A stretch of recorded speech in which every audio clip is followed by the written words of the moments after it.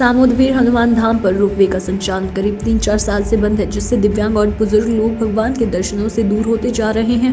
Ropeway को पुनः शुरू करने को लेकर चोमू विधायक डॉक्टर शिखामित बराला ने जयपुर कलेक्टर को ज्ञापन सौंपा है। इसमें विधायक ने बताया है कि मंदिर में प्रदेश सहित कई प्रदेशों के श्रद्धालु दर्शनों के लिए पहुँच रहे हैं। दर्शनों के लिए श्रद्धालुओं को करीब एक हज़ार एक सौ सीढ़ियाँ चढ़नी पड़ती है। इससे बुज़ुर्ग एवं दिव्यांग भक्तजनों को बड़ी परेशानी का सामना उठाना पड़ता है।